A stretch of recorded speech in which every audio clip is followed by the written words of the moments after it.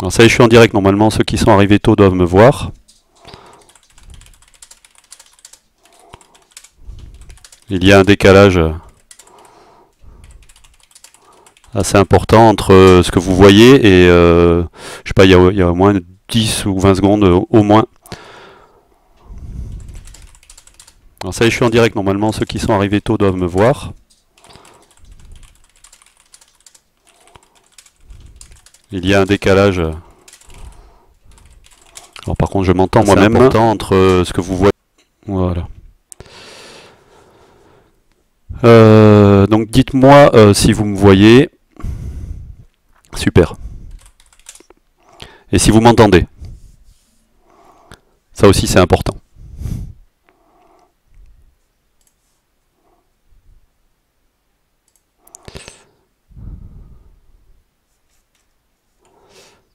Alors hop, j'ai perdu ma fenêtre de chat. Voilà.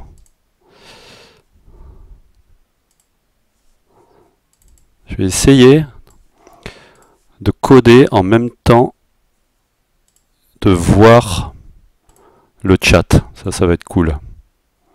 Alors j'iconise tout. Et hop. Là, normalement, je vois vos questions et je vois mon code. Et normalement, ma tête en bas à droite ne devrait pas cacher. Euh, donc après, il peut y avoir des, bugs, ça peut laguer, euh, pas d'inquiétude.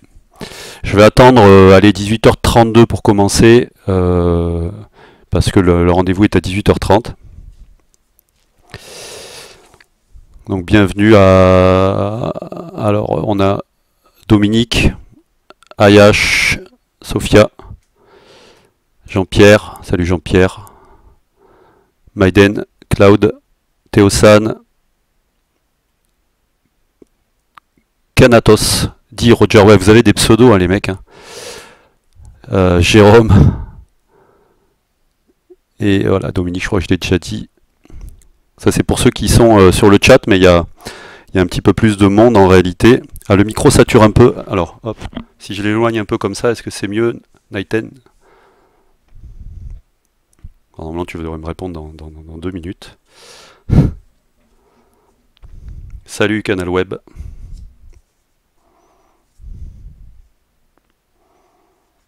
Je sais pas si je peux voir en fait euh, qui c'est qui est le nombre de présents. Je crois que ça marche pas bien. Si là, il me dit qu'il y a 5, mais en fait j'ai déjà plus de monde en réalité sur le sur le chat. Donc il y un peu n'importe quoi en fait.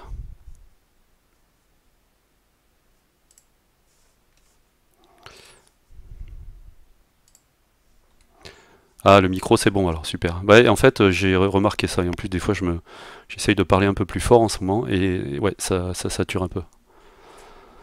Bon, j'espère que vous allez bien. C'est mon deuxième live.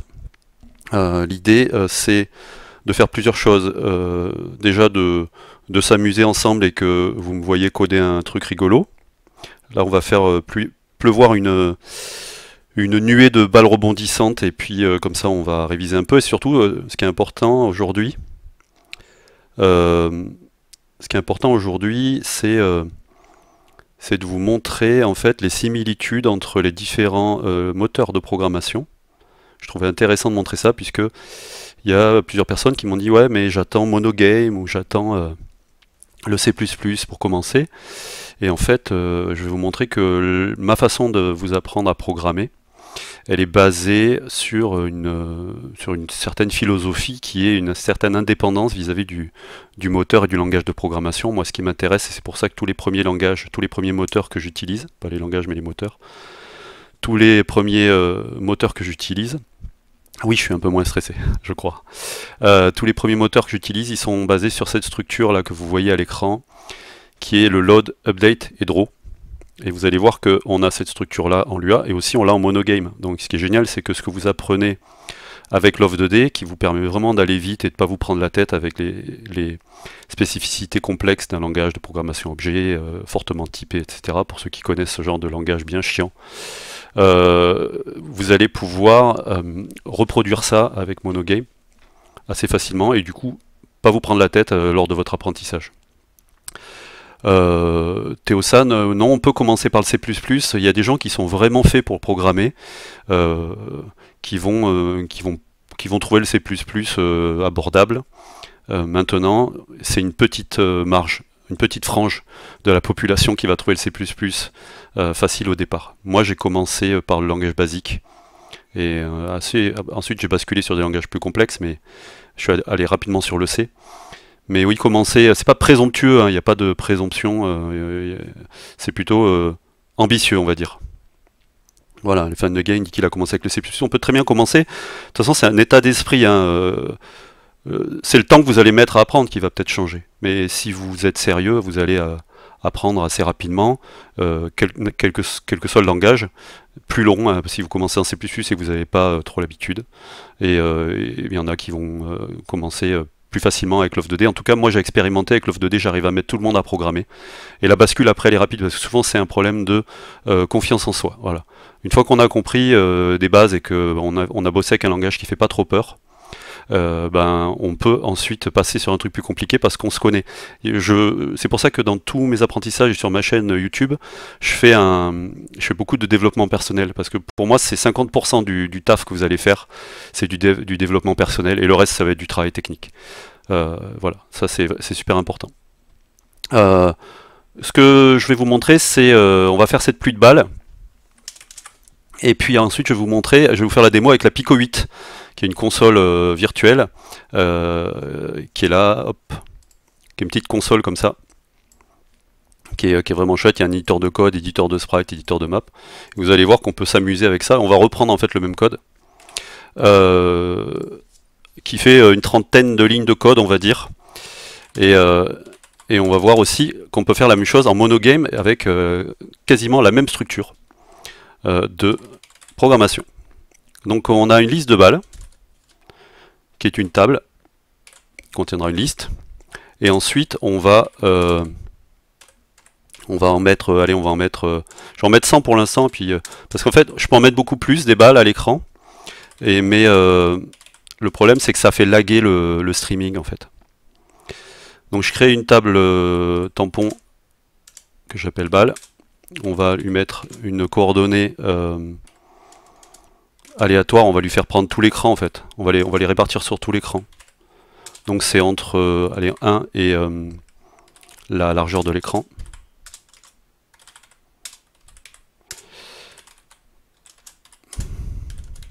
La hauteur, sur toute la hauteur de l'écran. Donc euh, les fonctions comme ça, love, love, tout ce qui est love, c'est appartient au moteur. Et la plupart des autres mots-clés que vous voyez, c'est spécifique au langage Lua. Donc tout ce qui commence par Love, c'est pour le moteur Love, et puis il y aura d'autres fonctions pour euh, le, le, langage, le moteur euh, Pico 8 par exemple. Euh, elle va avoir une vitesse de chute, cette, cette balle, qui est égale à 0 au début, V pour vélocité, Y pour verticale. Et on va rajouter maintenant cette balle dans la table qu'on a déclarée au départ. Donc là, on est bon, on a rajouté 100 balles c'est pas de l'argent, mais c'est des vrais babales. On fera l'update après, on va juste s'amuser à les, euh, à les euh, euh, afficher. On va, utiliser la fonction pairs de, de, la, la, boucle for qui est pratique pour parcourir des, listes. Et on va tout simplement faire un, un, cercle. On va afficher un cercle pour l'instant et après je montrerai comment on peut afficher des choses en pixel art. On va faire un cercle plein. Et on va l'afficher à coordonnées qu'on a euh, générées au départ. Et euh, salut Tom.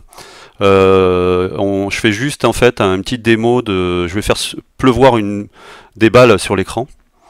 C'est juste pour vous montrer la structure d'un projet de jeu en Love 2D et vous montrer les similitudes ensuite avec un autre moteur Lua et ensuite avec monogame. Donc là, euh, normalement, ça plante parce que j'ai parlé en même temps que j'ai codé. Et non, ça ne plante pas. Euh, donc, euh, donc voilà, on a nos balles qui sont réparties sur tout l'écran. J'espère que vous voyez bien.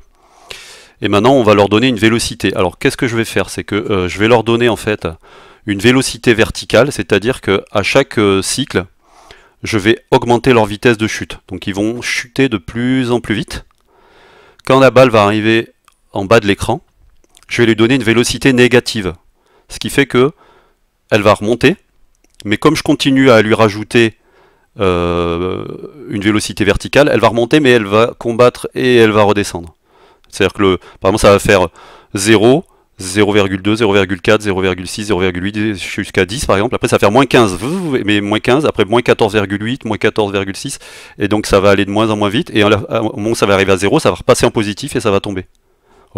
J'espère que vous avez compris. Donc ce qu'on va faire ici, c'est qu'on va reprendre notre boucle là pour parcourir toutes les balles. Et on va euh, on va augmenter cette vélocité verticale. Alors j'ai fait des tests avant. Euh, pour avoir des bonnes valeurs, ça m'évite de passer euh, du temps avec vous à, à, faire des, essais. Euh, alors ne criez pas au blasphème. J'utilise pas le delta time. Parce que comme je l'ai déjà expliqué plusieurs fois, notamment dans ma vidéo sur qu'est-ce que c'est qu'être débutant, l'art d'être débutant, je crois que j'avais appelé ça, un concept à la fois. Delta time, c'est assez simple mais ça m'obligerait à expliquer deux trucs. Il y a des débutants, euh, je pense, euh, ce soir euh, sur, la, la, chaîne. Je sais pas si on peut voir combien vous êtes là. Et ah ouais, déjà il y a plus de monde que la dernière fois sur toute la vidéo. Donc voilà, un concept à la fois. Là, j'ai pas besoin vraiment d'utiliser le delta time sur mon PC. Ça, tourne à 60 images secondes et ça ira très bien. Salut Wilfried. non, je me sers de de l'UA et d'un moteur qui s'appelle Love 2D. Donc vous pouvez aller sur euh, gamecoder.fr. Euh, tu auras euh, l'accès à. Tu peux t'inscrire à, ma formation en gratuit et tu auras l'initiation à l'UA Love 2D. Gratuitement, voilà. ah, 22, c'est bien. Alors je lance et normalement on va voir les balles tomber, mais elles vont dépasser le bas de l'écran. Mais non, ça plante parce que j'ai fait VX, et donc vous auriez pu me dire que je m'étais trompé, hein, c'est VY.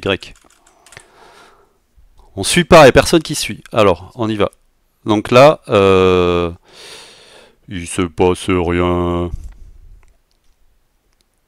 Alors pourquoi Il se passe rien? Euh, parce que c'est pas ça. C'est pas la, la, la, la, Oui, c'est la VY. Et ensuite, il faut que j'applique, bien sûr. Il faut que je fasse balle.y égale balle.y plus balle.vy. Eh, sinon... Euh, ça risque pas de descendre. Bien la peine de prendre des notes.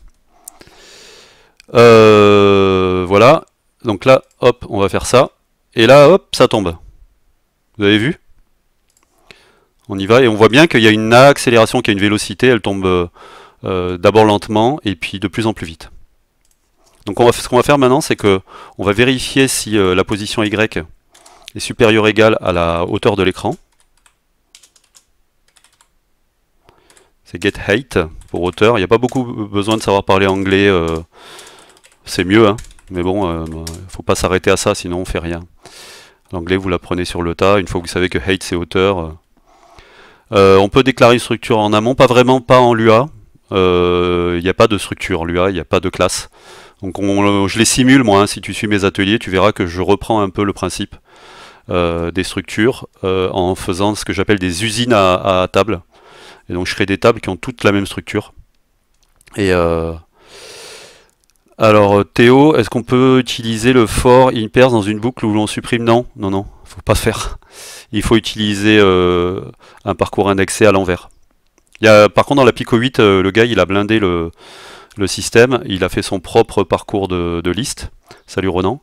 Il a fait son propre parcours de liste et lui il permet ça. donc on verra ça vous montrerai, il a fait un all au lieu d'un pairs, et ça marche très bien. Euh, donc, euh, si on arrive en bas de l'écran, on va faire une vélocité Y. À, euh, moi j'ai fait des, des, tests, à moins 15 ça passe bien. Sinon, c'est là que je vais faire ma vélocité verticale. Et là, normalement, un miracle se produit les balles rebondissent. Donc on peut en mettre vraiment beaucoup, l'off 2D est quand même assez puissant, le problème c'est que je suis en streaming. Déjà, mon streaming est à 25 images secondes, alors que moi sur mon PC ça tourne à 60. Et en plus, ça va faire laguer, plus je vais utiliser les ressources de mon ordi, plus ça va laguer le streaming, donc je vais pas en rajouter plus. en tout cas j'ai fait des, tests avec 2000, ça marche très bien. Et en monogame, je, je crois que je suis arrivé à 50 ou 100 000 et, ça tournait. Euh, voilà, donc là on a utilisé euh, des cercles, hein, vous voyez qu'on peut expérimenter, il y a pas mal de fonctions de base, circle, rectangle, tout ça. Pareil, vous arrêtez pas au fait que vous n'ayez pas de graphe euh, pour faire vos protos. Utilisez des formes géométriques et puis expérimenter des choses. mais vous allez voir que j'ai aussi une surprise pour vous à la fin, si vous voulez des ressources gratuites, images, son et musique pour vos protos. Euh, je vous ai préparé quelque chose parce que c'est vraiment ça manque. Et puis voilà, mais je me suis dit, euh, je commence à être euh, une petite référence dans le domaine d'apprentissage de la programmation de jeux vidéo. Ben, il fallait que j'ai un contenu aussi de ressources libres de droit. Et ben voilà, j'ai fait ça. Je vous montrerai tout à l'heure. démo en Pico 8. Donc la Pico 8 c'est ça. C'est une console, mais en fait la console elle tourne dans un exécutable. Donc vous voyez, on a une ligne de commande on a euh, un répertoire, hein, on est un peu comme si on était sur un vieux MS-DOS. On peut charger des l'équivalent de ROM. Après, je peux faire run. Vous voyez, là j'ai un petit, code pour tester les collisions. Pas moi qui l'ai fait, il est fourni avec la Pico 8. Hein. Euh, et en fait, si je fais échappe, je tombe dans l'éditeur de code, et donc j'ai un éditeur de code intégré, ce qui est assez génial il n'y a pas besoin de majuscules, minuscules, euh, c'est hyper limité. Donc du coup, en fait, euh, moi je suis un fan des contraintes. Et la Pico 8, c'est génial parce que ça vous impose énormément de contraintes. Vous, pouvez taper que 8000 caractères, dans votre code, donc vous êtes obligé d'aller... Euh, c'est des tokens hein, plutôt que des caractères, mais en gros c'est le nombre d'instructions que vous allez utiliser. ensuite, vous avez un éditeur de sprites intégré avec des sprites en 8 par 8 que vous pouvez dessiner directement dans dans la Pico 8, en fait, on n'a pas besoin de quitter la Pico 8. Voilà. Vous avez un éditeur de map qui est là aussi. Vous pouvez euh, modifier la map euh, bah, directement. Hein, si, je, si je fais ça, tac, tac, tac, et que je fais échappe run, bah, j'ai ma nouvelle map, tout simplement. On a un éditeur de son. Voilà. Et après, avec ces sons, on peut faire des patterns, euh, pour ceux qui ont codé sur Amiga, on peut faire des patterns et euh, faire de la musique. Euh, Théosan, ça coûte 15 euros, mais j'ai une surprise pour toi à la fin aussi, parce qu'en fait, je l'offre. Donc, moi, j'ai l'habitude, c'est-à-dire que si vous suivez mes cours, je propose uniquement des logiciels auxquels vous avez accès gratuitement. il se trouve que la Pico 8, moi, j'aimerais quand même bien pouvoir la montrer à mes élèves. Elle n'est pas gratuite, et ben, donc du coup, je l'offre à mes élèves. Euh, donc voilà, euh, bah, je vous montre, euh, je fais reboot. Alors ce qui est génial, c'est que vous pouvez ensuite livrer vos jeux sous format HTML5.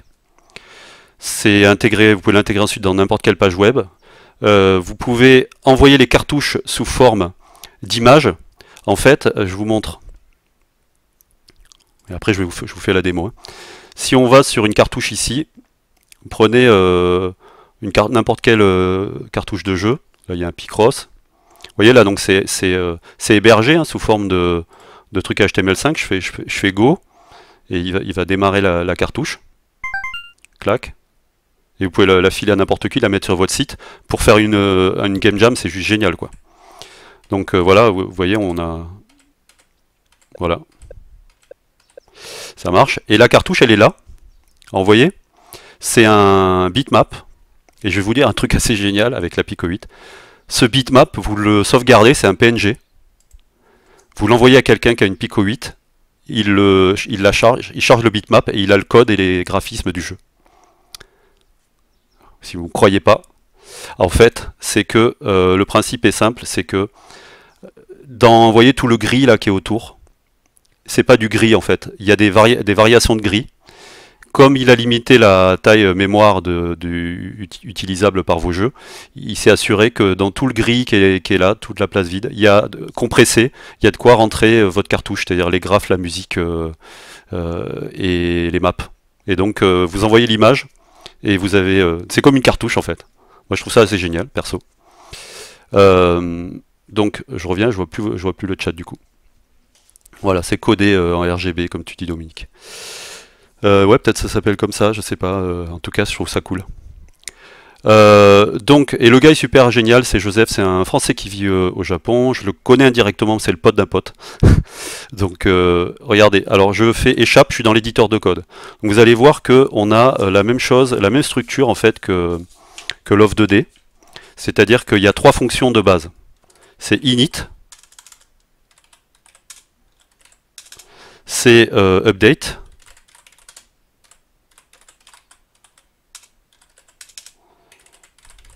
et ensuite c'est draw.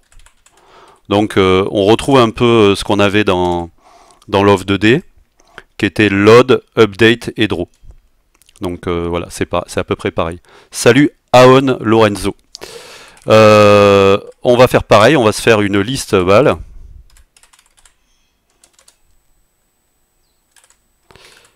Ensuite, dans l'init, on va se faire notre petite boucle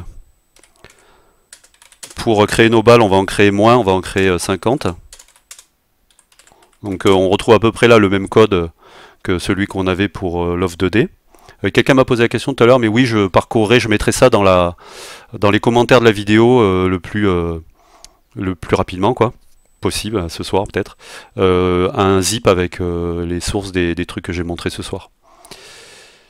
ben on, on, fait pareil, on fait local ball égale blabla.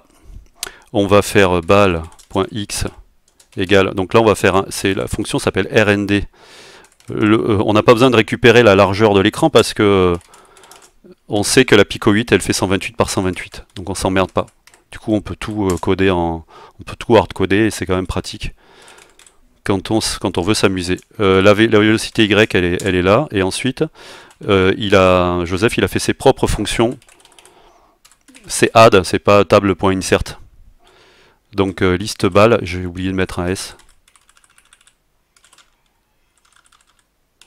Euh, liste balle, virgule balle. Donc là on a nos on a nos balles et euh, dans le draw on doit faire un CLS au début pour faire un clear de l'écran et on va dessiner notre balle. On va aller sur le premier sprite et on va faire comme ça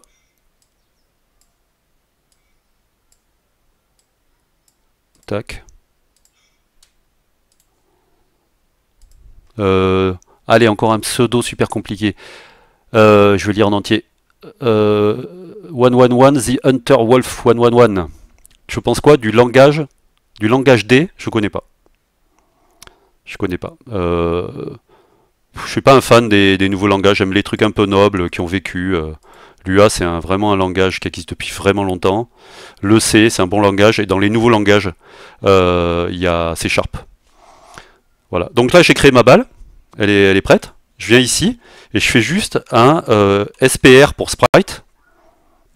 Euh, sprite 1, par exemple. C'est le 1, puisque ici, ici, je suis sur le sprite 1. Ici, j'ai mon chiffre de ma banque de sprite. Je fais SPR1 et je mets les coordonnées. Et en fait, euh, ça me dessine... Euh, alors, qu'est-ce que j'ai oublié? Une virgule, euh, ligne 4. Mais c'est pas tout, hein. je, suis en train de mélanger... voilà, ma balle, elle s'affiche à 10,10. Salut, voilà, voilà. Et maintenant, ce que je vais faire, c'est que je vais afficher tous les sprites en fait de, la table. Donc c'est for balle euh, in, all, et là, ma liste. Donc c'est assez, assez facile. Euh, il faut que je fasse mon doux quand même. Et là, euh, c'est pas 10-10, c'est bal.x et bal.y. Voilà, donc là j'ai à peu près la même chose qu'on avait tout à l'heure. Et maintenant je vais faire mon update. Je vais faire pareil, je vais faire un for bal in all liste val, do, je vais faire le, la vélocité. Y plus bal.y. Et ensuite, je vais faire if bal.y est supérieur ou égal à 128. Ah, là, c'est comme je vous disais tout à l'heure. J'ai pas besoin de m'emmerder euh, avec euh, récupérer la taille de l'écran. On sait qu'elle fait 128. Chez bal.vy égale moins 7. Hein, on est sur un plus petit écran. Sinon, bal.vy égale bal.vy plus. Euh, j'ai fait 0,2. Ça marchait bien. Voilà, on retrouve euh, le, les rebonds de notre euh, balle rebondissante. Et euh, CTRL C, CTRL V, si, mais j'évite de le faire parce que sinon, sinon les gens ils comprennent pas d'où, comment, ils voient pas mes doigts, donc ils disent qu'il y a des, lignes de code qui apparaissent par miracle. Ben, le délangage, je regarderai les gars, je regarderai. maintenant, il faut voir les moteurs qui sont reliés à ça. Moi, j'essaye de vous apprendre des moteurs qui sont euh, dans la lignée de ce que vous allez pouvoir utiliser dans l'industrie du jeu vidéo, ou si vous si vous voulez pouvoir euh, évoluer vers euh, les consoles next-gen et choses comme ça, voilà, c'est Sharp, Monogame, c'est vraiment le truc à apprendre en ce moment, c'est plus plus aussi. Oui, la résolution. Alors il y a plein de trucs qui sont limités sur la Pico 8 exprès pour vous imposer des contraintes. C'est que le nombre de sprites est limité, la mémoire de la map et des sprites se chevauche. on a que 8000, 8000 tokens de, pour, son code et euh, la résolution est capée, ouais, et le, le, aussi le nombre de frames par seconde est limité à 30. Voilà. Donc vous voyez euh, qu'on a, euh, je vous remontre, on a réussi à faire la même chose en quelques lignes. Et ce que je veux vous montrer maintenant, c'est qu'on peut faire la même chose en, en monogame. Alors j'ai déjà dessiné la balle, et pour ça, je vais utiliser, c'est là que je vais vous montrer un autre logiciel qui est génial, qui s'appelle Pixel Edit, euh, qui permet donc de dessiner ces, sprites de manière assez rapide et surtout de faire des animations euh, image par image. Donc euh, voilà, on, peut, on, crée comme ça une image composée de cellules, qui est en fait techniquement une seule image, hein, dans laquelle on va pouvoir ensuite dessiner. Euh, mais on a euh, aussi la possibilité ensuite de créer, ici par exemple j'ai fait une image avec 8 cellules, j'ai utilisé les graphes comme, comme, fait, euh, on fait mon, mon, gamin qui, s'exerce au pixel art et qui est assez doué. on a fait 8 cellules, on a créé une, animation de marche, on a dit qu'elle utilisait les 8 premières cellules, on a ici créé, toutes les tailles. Je ferai une formation hein, sur Pixel Edit. Et ensuite, ben, on a l'anime ici qui tourne en bas, je ne sais pas si vous la voyez. Et ce qui est génial, c'est que euh, vous voyez, je sais pas si vous voyez que si je commence à, dessiner en fait euh, sur euh, juste à, survoler mon, mes graphes, je vois en bas le pixel, je, suis bête, hein, je montre avec le doigt, on voit en bas le pixel qui apparaît, c'est-à-dire que c'est quasiment en direct. Et si je dessine, on voit en direct sur l'anime en bas ce que j'ai fait. Donc c'est quand même pratique pour faire des animes. Euh, ce qui est génial aussi, c'est que euh, ça permet de faire des maps carrément. On peut ensuite euh, ici avoir un système comme ça où on dessine sa propre map. Si je modifie une des cellules de, la map, ça modifie sur toutes les cellules.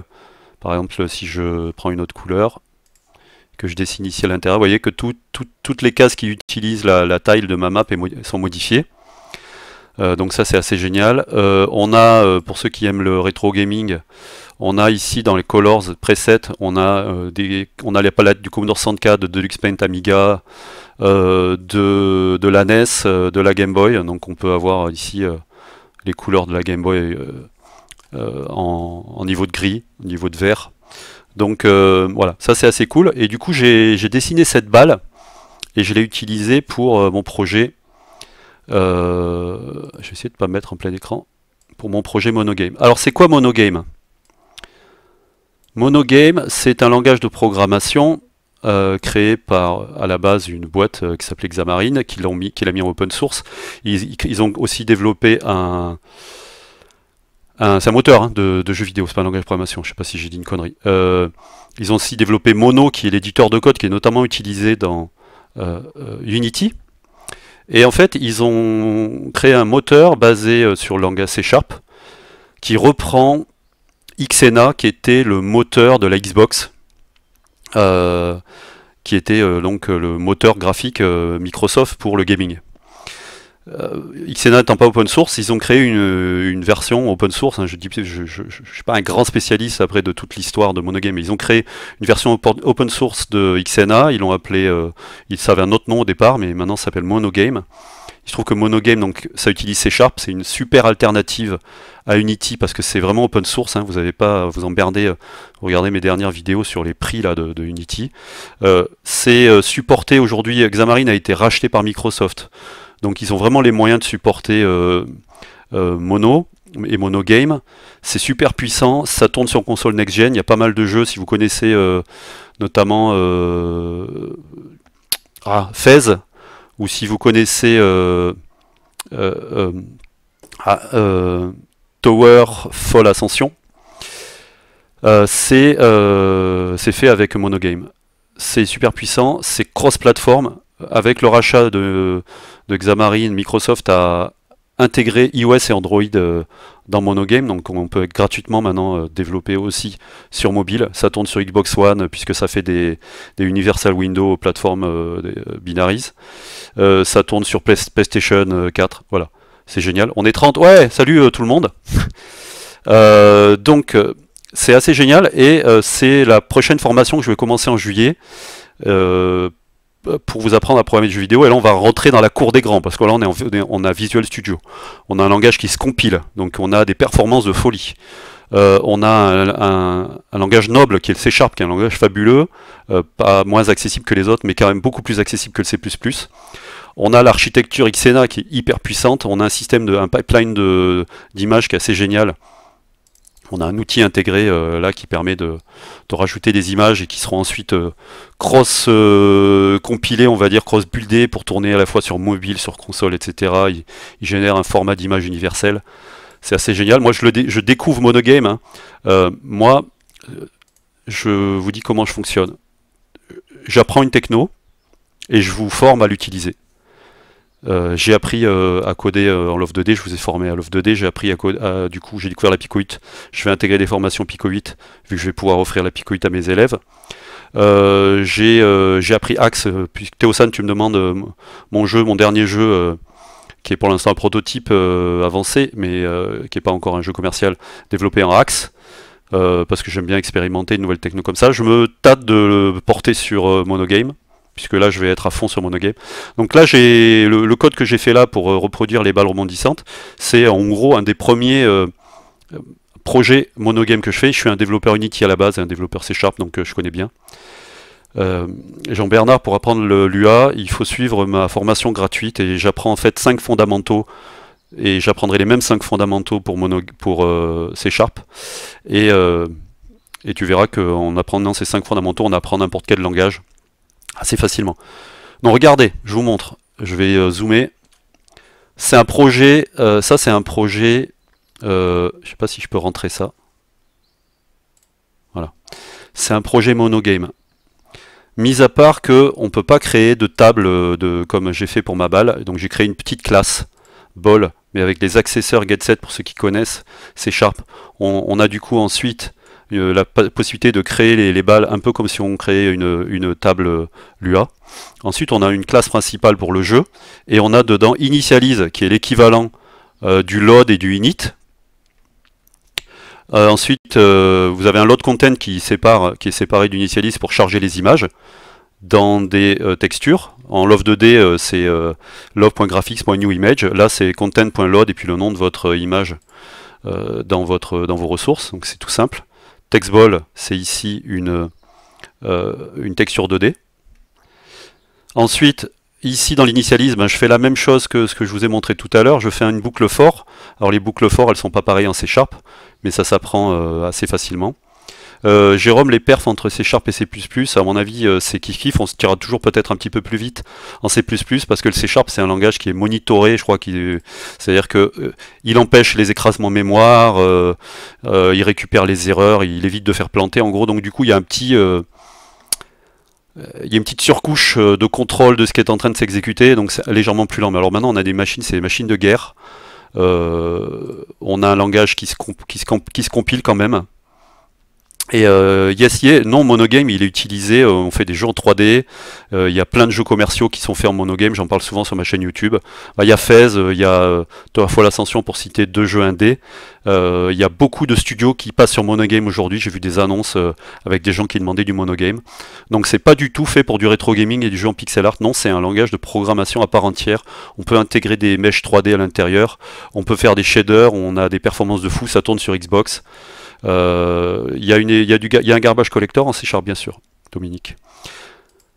Euh, donc voilà, je crée ma balle ici, je fais new ball et puis en tracolade, je euh, remplis les deux propriétés qui sont position et, ensuite on voit plus du coup et VY égale 0. Donc vous voyez qu'on a une, similitude quand même au niveau de la syntaxe qu'on peut retrouver par rapport à ce qu'on a fait en Lua. Et après on fait le nom de la liste .add et la balle. Donc au lieu de faire table. Euh, insert ou add, on est toujours à peu près pareil. Ensuite, euh, dans le update, je fais un for each pour parcourir ma liste, et je récupère euh, ma balle dans une variable que j'appelle ball.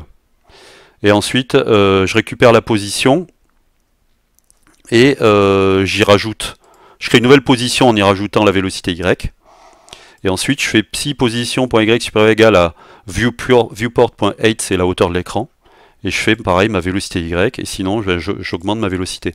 On est vraiment euh, euh, pareil euh, que la structure de ce qu'on a fait en Lua juste avant. qui a un GC, ouais, Garbage Collector moins performant que celui de Java, sûrement. Après, bon, c'est pas obligatoirement hyper important et on peut passer outre. Moi, je connais des gens qui écrivent leur propre Garbage Collector pour éviter d'utiliser, quand on a vraiment des jeux euh, qui sont extrêmement consommateurs euh, de, ressources. Jérôme, oui, le C++11, il est sûrement euh, en train d'évoluer vers le, des choses qui lui manquaient. Voilà, mais là, moi, je fais du C Sharp parce que je forme à, monogame et que c'est le langage qui est utilisé. Je, ferai aussi des, une formation C++. J'ai beaucoup de formations d'ateliers à faire, mais il y aura tout ça j'ai bien l'intention d'être une référence euh, où tout est centralisé, euh, formation, atelier, euh, coaching, développement personnel, ressources graphiques, communauté, chat et tout ça. tout ça c'est sur, sur Gamecoder et je pense que je suis bien parti. Et puis vous êtes là pour me prouver que c'est pas des conneries ce que je suis en train de faire. Donc après on fait un sprite batch qui est génial, c'est que ça évite d'utiliser trop de ressources de la carte graphique.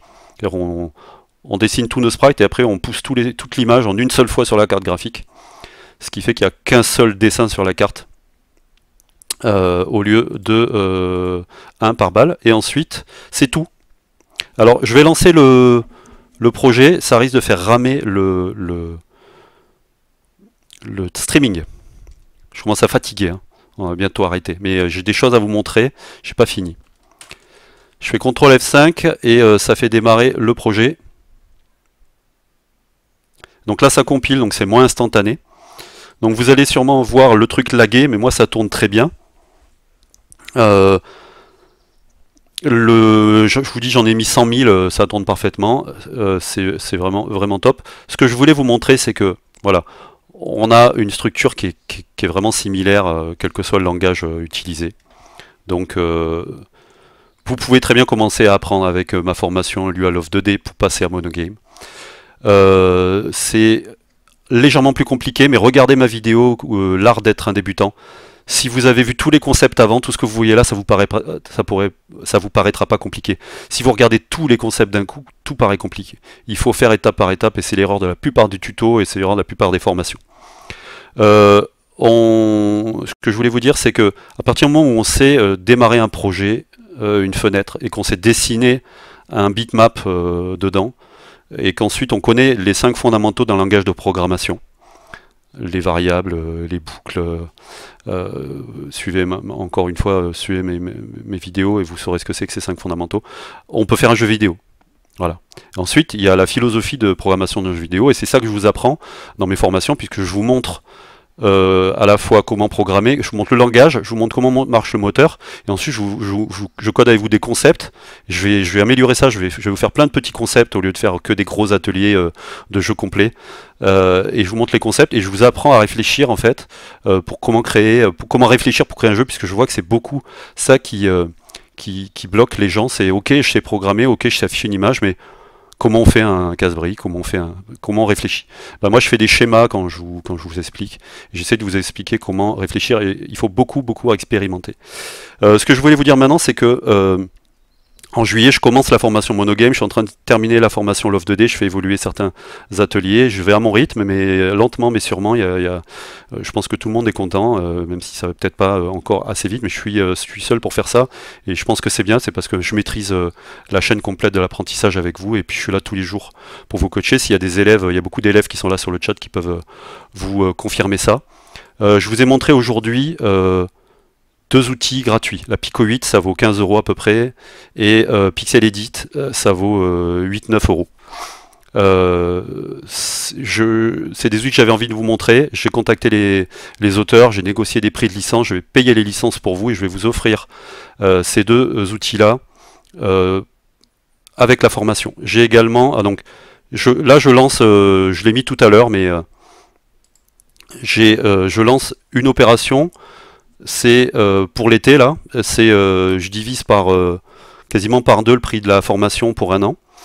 Et je vous offre plus de 25 euros de licence de logiciel, donc une Pico 8 et un, Pixel Edit.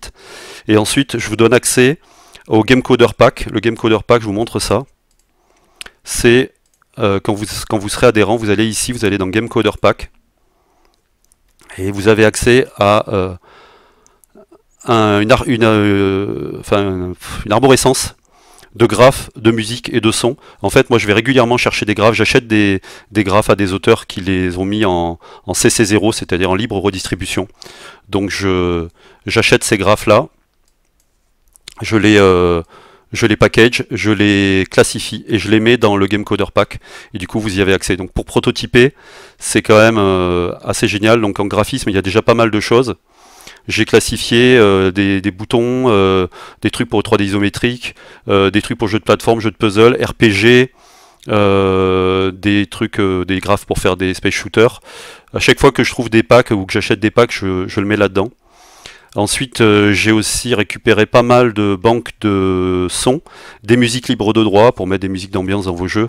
Il y en a pas mal. Là, il y a plus de 8000 fichiers déjà, il y a 900 mégas de ressources c'est juste que je les ai classifiés pour vous, hein, c'est des trucs qui sont plus ou moins libres de droit, euh, il faut euh, lire les... Je, mets à chaque fois les licences, et euh, vous pouvez les utiliser pour faire vos protos parce que ben, c'est vachement motivant d'utiliser des vrais graphes.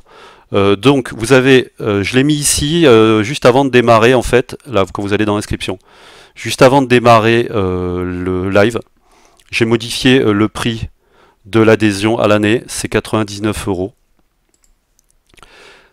Euh, et je, euh, je, quand vous vous inscrirez, vous aurez une page privée sur laquelle je, viendrai écrire le numéro de licence euh, Pico 8 et Pixel Edit que vous pourrez aller changer sur Steam ou Itch.io pour récupérer votre soft. Je vais faire ça à la main.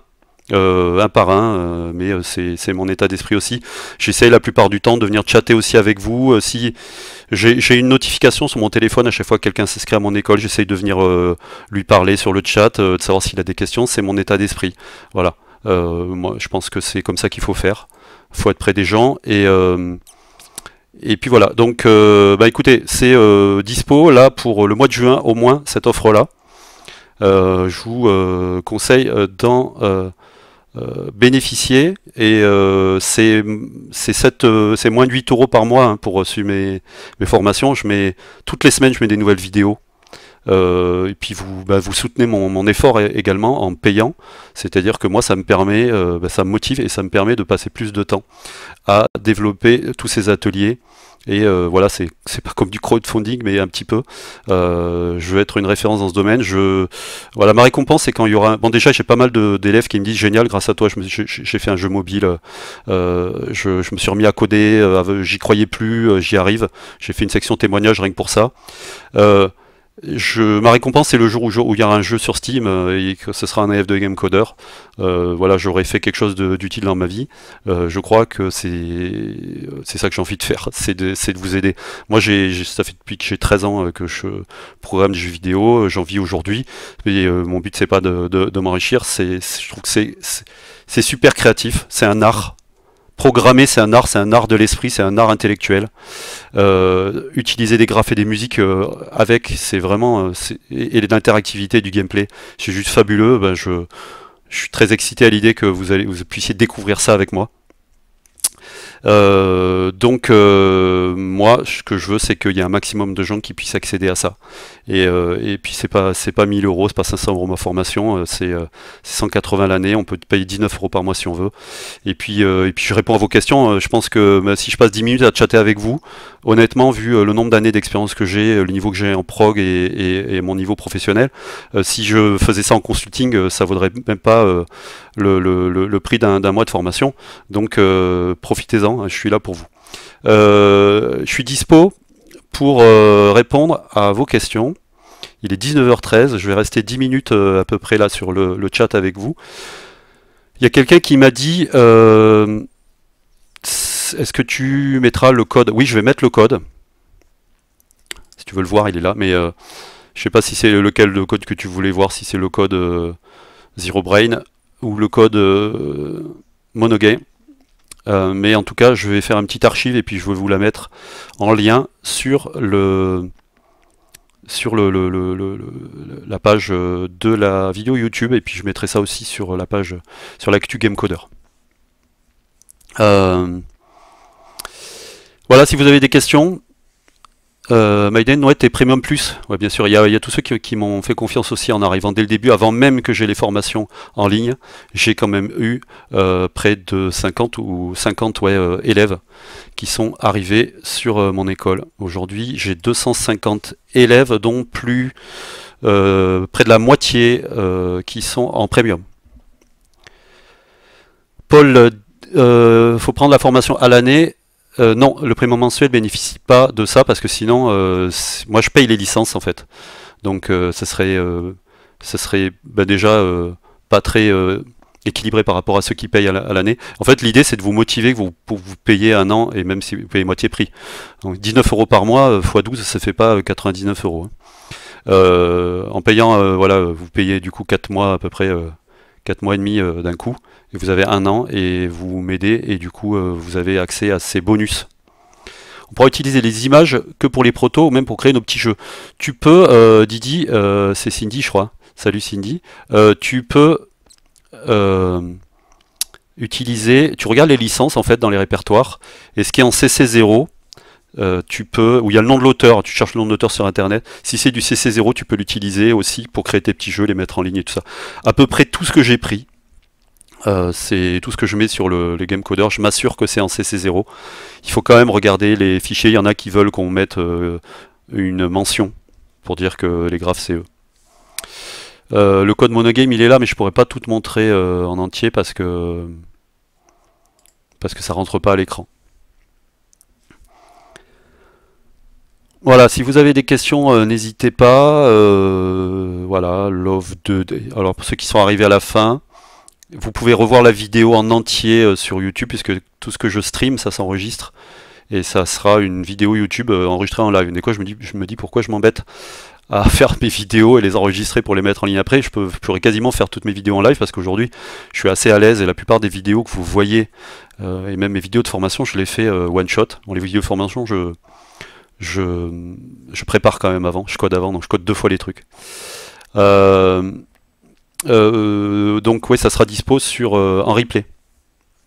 donc là, je suis, je vous ai montré en fait comment on fait rebondir les balles en, zero braille. Il y, a, il y, a, moins de 30 lignes de code, et je vous ai montré que la structure de l'off 2D était la même en Pico 8 et était la même en monogame. Et je crois que si on fait du C++ avec SDL, on a aussi un format euh, update draw. Donc euh, voilà, il n'y a que quand on rentre avec des frameworks complètement objets. Euh, ou, genre libgdx, SFML, choses comme ça, où on a plus ce update draw, en fait, il y est en interne, vous, vous le voyez pas. C'est-à-dire que vous créez un objet graphique, vous l'ajoutez à quelque chose, c'est un state en fait à la scène courante. Mais en fait derrière, il fait euh, ce que je fais là, c'est-à-dire il fait, il fait l'update de chacun de vos objets, il fait le draw de chacun de vos objets, mais c'est invisible. Voilà. Ben voilà, c'est bon. Euh, si vous avez, alors qu'est-ce que, est-ce que file supporte les chemins relatifs en Lua? Oui, on peut tout faire en relatif, je crois en Lua. C'est par rapport au répertoire qui contient ton fichier Lua. tu peux charger des images qui sont dans des sous-répertoires, etc. Quand tu as une idée de jeu, par quoi commences-tu? Alors, euh, Dominique, quand tu as un, éléphant à avaler, euh, le mieux c'est de l'avaler et de le découper en petits morceaux pour l'avaler. Et c'est comme ça que je fais. C'est-à-dire que je, vais prendre le jeu dans son intégralité. Et là, il va me faire très peur. Je vais me dire jamais je vais pouvoir avaler ça. Donc je vais prendre un petit bout. Je vais dire tiens dans ce jeu, il y a je vais prendre un truc fun du jeu. Dans ce jeu, il y a un truc qui bouge comme ça, qui tourne sur lui-même ou un, vaisseau qui tourne autour d'une planète. Je m'occupe pas du reste du jeu. Je fais tourner mon vaisseau autour de la planète. À partir de là, j'aurai euh, déjà un processus mental qui fait que ça y est, je suis rentré. J'ai fait mon premier pas dans mon jeu. Et donc mon cerveau, il est connecté à mon projet. Et je suis rentré dedans. Ensuite, je vais euh, griffonner euh, sur un, dessin, euh, sur une feuille. En gros, la, structure de mon jeu, je vais me dire, il y a des éléments de tel truc. le joueur peut faire ça, peut faire ça, peut faire ça. Je vais découper comme ça mon jeu en petites fonctions et je vais les développer une par une. Et ensuite, il y a des structures de base à avoir. Globalement, si tu suis mon atelier, par exemple, shooter ou mon atelier action roguelike, tu verras que c'est la même chose. C'est l'update est à peu près pareil. On a des listes d'objets. chaque objet a, une façon de se comporter. Et ensuite, on a une procédure, un gros algo qui va regarder comment tout ça se comporte et est-ce que ça collisionne, etc. Prendre des décisions et changer d'écran. Euh, globalement, on a, des, on a des similitudes. Si tu commences tout de suite par un gros jeu, tu vas, tu vas te décourager. Commence par des petits jeux. Et euh, voilà, tu as, du coup, tu as, ma façon. Fera-t-on un jeu tous ensemble? Quand on aura plus d'expérience, je sais pas. Ça me paraît un peu compliqué à faire, mais pourquoi pas. Ou alors, vous pouvez prendre cette initiative de le faire sur le forum. Euh, mais c'est pas le genre d'initiative que, je vais prendre pour l'instant. J'ai tellement à faire, tu sais, euh, et puis euh, voilà, tellement de choses euh, moi, à apprendre et à vous transmettre. Je vais me focaliser là-dessus. SFML, pas SDL. je sais pas pourquoi tu dis ça, mais en tout cas, ou SDL. avec la SDL, on a plus ou moins, on est assez bas niveau. je crois qu'on charge une secture et on la draw dans une, dans une boucle draw. SFML, on a une, on a une architecture objet. Je ne vais pas dire de conneries, mais je crois que c'est ça. Euh, J'ai dû sauter des questions euh, au début. Mais euh, pour dessiner David, est-ce que tu connais Krita? Ouais, je connais un peu parce que j'aime bien le gars qui fait les vidéos Krita sur YouTube. Et ça a l'air vachement bien, mais c'est un produit, donc je crois, qui est Kickstarter en ce moment. Et c'est un produit qui est payant. Bah, éventuellement, c'est le genre de truc où je pourrais aussi contacter le développeur pour voir s'ils ont des licences des licences euh, éducation pour voir si je peux du coup les, en, donner à mes élèves euh, pour, euh, pour que vous puissiez bénéficier. Je ne veux pas en fait vous proposer d'utiliser des outils payants ou alors il faut que je vous les fournisse. Voilà, c'est ça que je fais. Donc l'offre 2D c'est gratuit, Monogame c'est gratuit. C'est vraiment gratuit, Monogame, c'est ça que génial, vous développez en C Sharp pour PC, Mac, mobile et next-gen sans vous emmerder avec des licences la doc de Monogame n'est pas obligatoirement euh, très accessible et c'est pour ça que je vais fournir une formation et puis euh, vous allez pouvoir développer en Monogame sans vous emmerder. C'est moi qui vais aller m'emmerder à lire les forums en anglais, euh, c'est moi qui vais m'emmerder à, aller fouiller dans la doc de XNA. Il y a beaucoup de choses qui sont quand même encore de, issues d'XNA qu'on peut trouver sur le site de Microsoft. Et voilà, je me débrouille. Et donc Krita est gratuit, bah tant mieux. Bah, alors super. J'essaierai de de le regarder. C'est qu'il est kickstarter en fait, hein, c'est ça, donc ils, essayent sûrement d'avoir un peu d'argent pour avancer le dev. Et ça a l'air vraiment bien, mais c'est pas obligatoirement que pour les graphes, hein. il y a des gens qui font du painting, qui font de l'illustration avec, euh, avec Krita. Euh, ça a l'air super bien. Voilà. Euh, à moins d'avoir une question. Je crois que le chat va rester ouvert quelques minutes euh, salut Wilfried et merci euh, pour tes compliments. Le chat va rester ouvert quelques minutes sur euh, YouTube et puis après, clac, je sais pas qu'est-ce qu'ils ont, ils, coupent. le chat en disant c'est fini et il ferme le chat carrément. Donc si vous avez des questions, vous me les posez là maintenant dans les minutes qui viennent sur le chat. Vous pouvez aussi me les poser en mettant un commentaire sur la vidéo qui est qui va être diffusée sur YouTube en direct, quasiment, je crois qu'elle y est déjà, du replay. Ensuite, vous pouvez vous inscrire à GameCoder. Je répète pour ceux qui viennent d'arriver que en ce moment, c'est un an de formation. Au moins, vous savez, ce que vous allez faire cet été. Si vous êtes jeune, vous pouvez dire à vos parents euh, Je ne vais pas faire que jouer, je vais apprendre à créer des jeux. Il y a un gars sympa, ils peuvent me téléphoner s'ils veulent, me contacter. Euh, je leur expliquerai tous les bienfaits de devenir euh, programmeur de jeux vidéo ou de programmer des jeux vidéo. parce que bah, consommer c'est bien, mais créer c'est 100 fois mieux. Et créer des jeux vidéo, c'est un, comme je disais, c'est un art. Donc euh, vous pouvez euh, tout l'été là pour 99 euros et plus que tout l'été parce que ce sera jusqu'à juin 2016 que vous aurez accès à mon contenu, à mes formations toutes les semaines, je mets des nouvelles vidéos. Euh, en prenant une Premium Plus et je vous offre une Pico 8, un licence de Pixel Edit et un accès privé à tout un pack que j'enrichis toutes les semaines avec des images que je glane sur internet ou que j'achète à des auteurs qui les mettent ensuite dans le domaine public. Merci Dante pour l'atelier Shoot Up, super. Moi personnellement l'atelier Shoot Up, c'était mon premier atelier, je le referai maintenant, je, je, ferai mieux. Mais je sais que tout le monde le trouve super. Il y a des petits trucs qui me, qui me gênent dedans qui sont pas obligatoirement euh, super clairs. Mais euh, a priori ça gêne personne et j'ai vu des j'ai vu des, élèves qui ont fait des, shooters à scrolling horizontaux, euh, euh, qui voilà, ils ont, ils ont, c'est la première fois qu'ils codaient et ils ont, euh, bah, ils, ont transcendé l'atelier, ils ont fait des trucs. pour ceux qui, qui sont inscrits, d'ailleurs, je viens de mettre en ligne deux nouvelles vidéos parce que je trouvais que j'étais pas allé assez loin dans la formation sur Tide. Je suis allé rajouter deux vidéos pour, en plus de pouvoir charger la map euh, à partir de Tide en Love 2D, pouvoir aussi charger les objets, c'est-à-dire les vaisseaux ennemis. Maintenant, on peut les mettre dans Tide euh, à la main et ils sont chargés et positionnés ensuite par programmation. Donc ça, c'est dans la continuité pour ceux qui ont fait l'atelier Shoot Them Up. Ils peuvent aller continuer ça. Du coup, ben, pour ceux qui ne connaissent pas, vous allez dans l'école en ligne, programme de la formation. J'ai des modules par niveau avec le euh, monogame qui va arriver. Ensuite, on fera du C++, du Axe pour vous apprendre à diversifier vos connaissances en langage de programmation et à, pousser à fond vos, connaissances de la programmation objet. On fera vraiment de la programmation objet euh, assez poussée. Je vous apprendrai plein de plein d'astuces, plein de, plein de trucs. C'est assez fun la programmation objet en fait.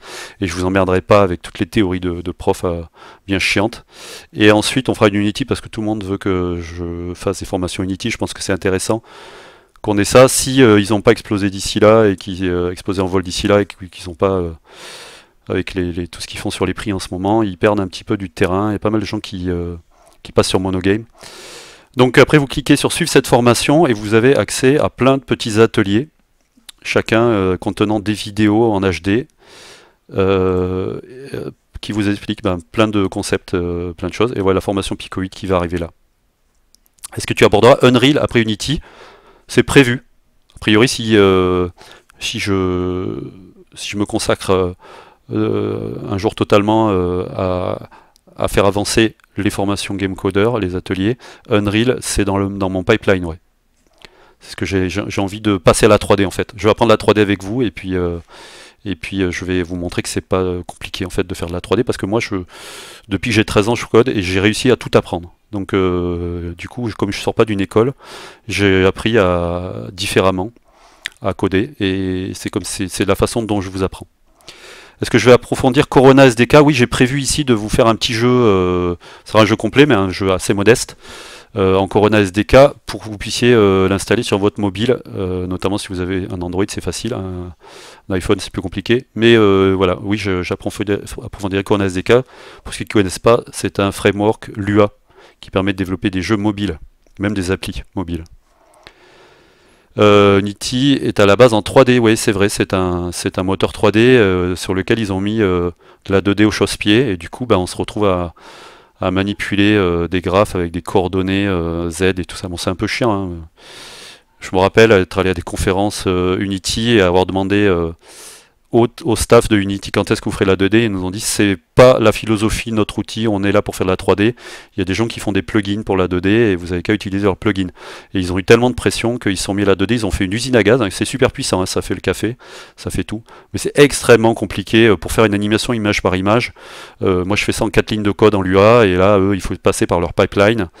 Euh, par toute leur interface. On va, faire on va, mettre trois plombes à apprendre comment marche leur pipeline d'animation. Et finalement, ce qu'on a appris là, on ne pourra pas l'utiliser dans un autre langage de programmation. C'est un peu le défaut Unity. Et euh, il y a beaucoup de gens qui, basculent sur Unreal. Je connais des auteurs de jeux vidéo qui euh, développent notamment sur Unity et qui aujourd'hui même ne, ne peuvent pas. je vois que j'ai déjà des, abonnements premium qui, qui, arrivent, donc c'est cool, merci. ils peuvent pas. je sais plus ce que je disais. Je disais quoi? Je parlais d'Unreal. Oui, euh, je connais des gens qui développent sur Unity.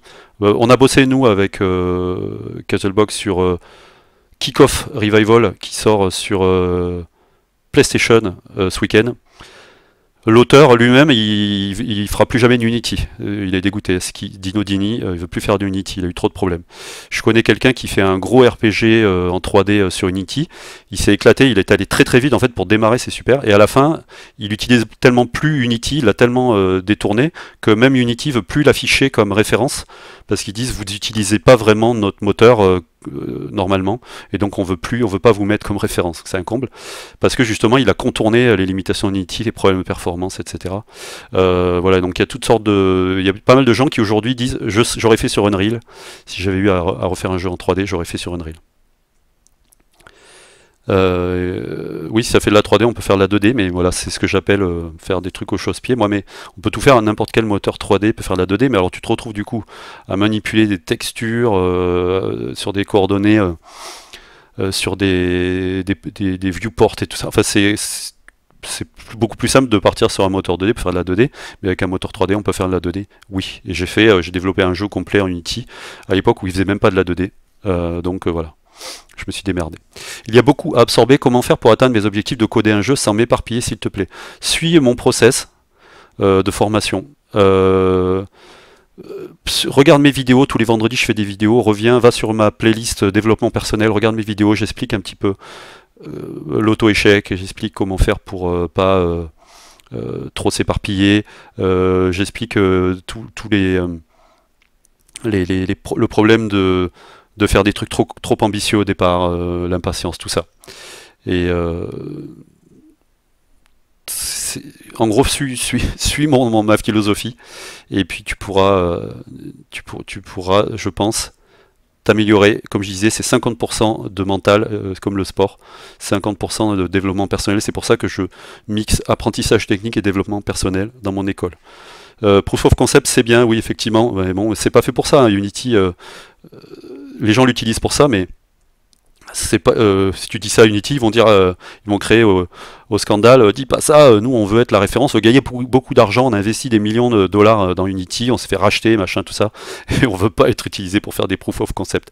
Et effectivement, beaucoup de gens utilisent aujourd'hui pour faire des proof of concept et peuvent passer éventuellement sur Unreal quand ils voient qu'ils galèrent. Voilà, je vais, vais attendre 30 secondes, je vais stopper le streaming pour enlever ce casque, j'ai chaud. Et je vais rester connecté sur le chat jusqu'à qu'il se coupe. Alors on m'a dit, on m'a dit coupe pas le, streaming d'un coup parce que tu, toi quand tu appuies, il n'y a, a, pas le temps de latence et ça coupe. En fait, je vais attendre donc une minute sans parler. Je vous remercie vraiment tous, je sais pas combien vous étiez. Euh, mais c'est cool, euh, je referai des lives. Ah, il y a 100 lectures déjà de ma vidéo, il y a eu, un pic à 21 euh, personnes en même temps, même il y a eu plus que ça, 29 hein. personnes, voilà, à peu près une trentaine de personnes, et puis des gens qui doivent regarder sûrement la vidéo, puisque j'ai déjà 100 lectures de la vidéo, donc ils sont en train de la reprendre depuis le début, qui ne sont pas connectés au live. Je vous remercie, je vous dis à plus, je vous retrouve comme comme ceux qui sont en train de, s'abonner là sur, euh, sur mon école, comme euh, euh, X Fabien ou qui vient de qui vient de s'abonner en premium. Donc je vous retrouve sur le, sur mon école, sur mon chat, sur mes cours. Pour ceux qui veulent venir, n'oubliez pas, je garderai pas cette offre à 99 euros toute la vie. Je pense que je vais la garder pour le mois de juin uniquement. Et euh, je vous conseille d'en profiter et de me rejoindre. J'ai vraiment envie de vous apprendre et je vous dis salut.